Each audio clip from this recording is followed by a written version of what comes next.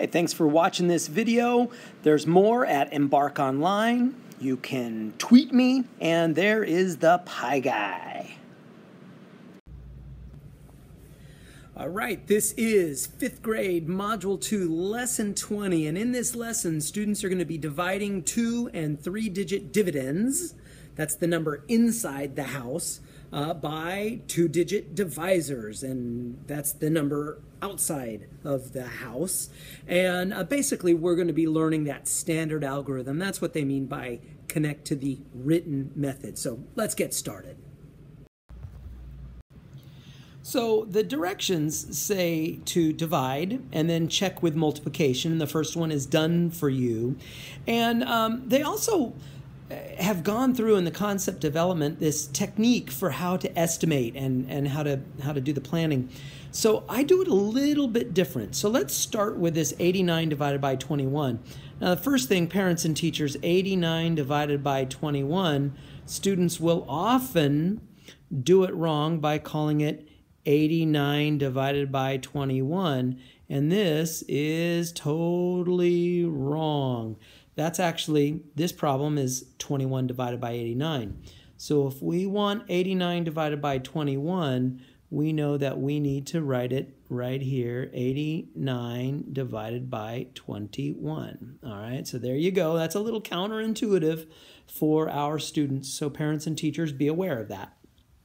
And the idea is, how are we going to estimate this, uh, what we're going to multiply uh, by? So we're going to say, well, I'm going to estimate 21, and I'm going to round 21 down to 20, and I'm going to skip count by 20. So that's going to be 20, 40, 60, 80, uh, 100, 120, etc. And because I see that I'm trying to go up to 89, that tells me right about there is what I'm going to do. So that's four, uh, four times. So that is going to be my estimation my for what to multiply by. How many times does 21 go into 89? I'm estimating four times. And so, of course, over here on scratch paper, we're going to actually have to do it. 21 times 4, and we get 84. And because 84 is less than 89, that probably tells us we are golden. So 4 times 21 is 84, and we subtract and we have our 5 left over. So our answer is 4 with a remainder of 5. Very classic system. Now, how are we going to check it? Well, checking uh, we're going to do a little bit of multiplication here. So the way we're going to check it is we're going to say, well, 21 times 4 is 84. And then we're going to take that 84 and we're going to add the remainder of 5, which gives us 89. And because our 89, uh, right here, 89 is exactly what was inside the house, that tells us that our multiplication and our division right here, this answer, our quotient, is correct. So we're going to do just one more practice of this very same concept. So our division, let's see, right here. So there's our house, and we know that it's going to be 67 divided by 19. And to estimate how many times 19 goes into 67. I'm going to take that 19 and I'm going to round it to 20 and I'm going to skip count by 20. So you got 20, 40, 60, 80, 100, and I'm going to stop right here at 3 because any anything beyond that is larger than 67. So my big estimation is 3. 19 times 3 19 goes into 67 three times. That's my estimation. So let's try it. 19 times 3, I get 27, carry the 2. 3 times 1 is 3, plus 2 is 5. So I get 57, and well, 57 is not larger than 67, so I'm thinking that's probably going to be a good estimation, uh, a good number.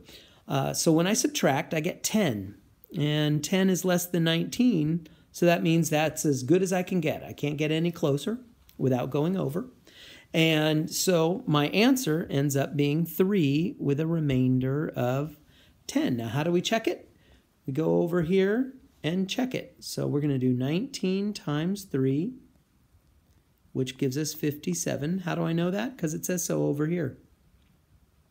And then I'm going to take that 57 and I'm going to add in my remainder of 10, which gives me 67. And check that out. That's exactly what was inside the house. So that tells me that my quotient up here with the remainder is correct. Another example here, it's a nice little word problem. It says, a 91 square foot bathroom has a length of 13. What is the width? So we've got this bathroom, and the bathroom's right here.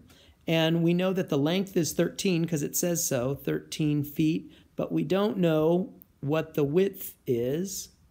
But we know that when you multiply these, 13, and uh, let's get a fatter pen. So we get 13 times what? And that's supposed to give us 91. So there's our division. So we know that our division is going to be inside the house, it's 91, and outside the house is 13. So uh, how many times does 13 go into 91? Well, I, I'm going to estimate 13. I'm going to round it down to 10. And I'm going to say, well, that's 10, 20, 30, 40, 50, 60, 70, 80, 90, right there. So anything over that uh, gives us more than 91. So I see 1, 2, 3, 4, 5, 6, 7, 8, 9. Okay, so 9 is going to be my estimation. Now, I don't know if that's right, but I know that's going to be my guess.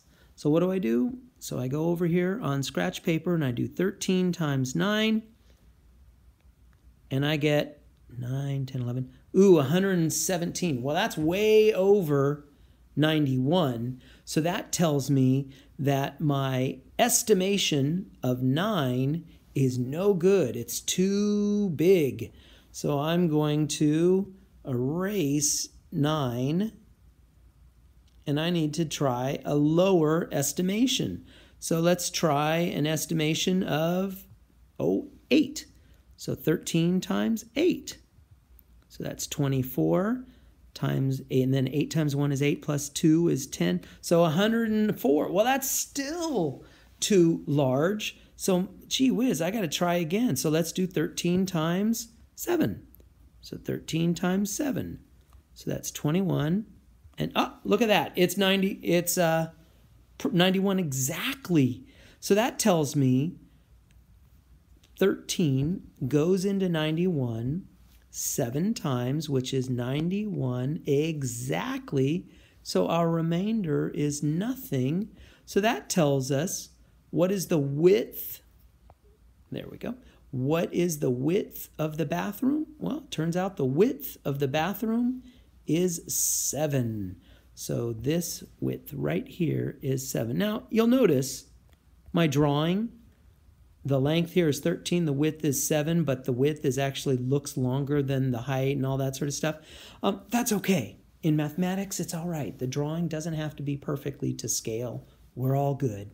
So the width is 7 feet.